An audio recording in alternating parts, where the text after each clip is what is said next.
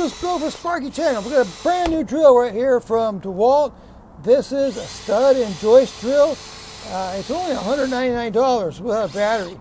It's a, it's a one speed, it's not a two speed.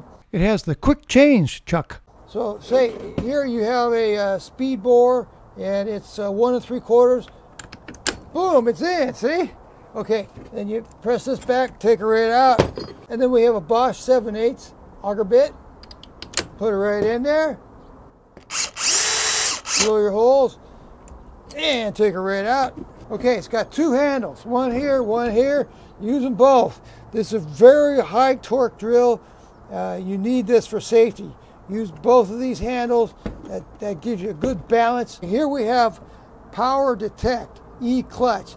So that's to save you from breaking your wrist. I'm telling you, these high torque drills, if they catch on something and your drill can't just drill right through it, maybe it's a, a piece of rebar or something, I don't know, and it will stop and protect you from injury.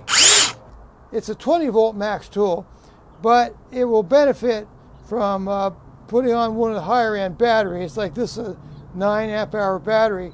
So we have a light right here to help illuminate your work. The tool weighs 8 pounds, 4 ounces without a battery.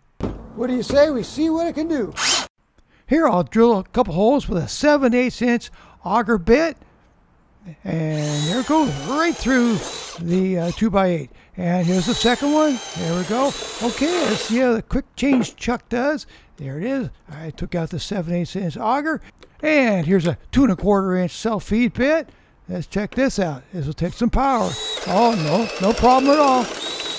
Not a problem at all. That's a two and a quarter inch hole, just like that. So if you need a stud and joist drill that will get the job done but won't break the bank, this one might be for you. I'll put a link for this drill and for the new auger and self-feed bits from Irwin in my video description. Thanks. I hope this video was helpful.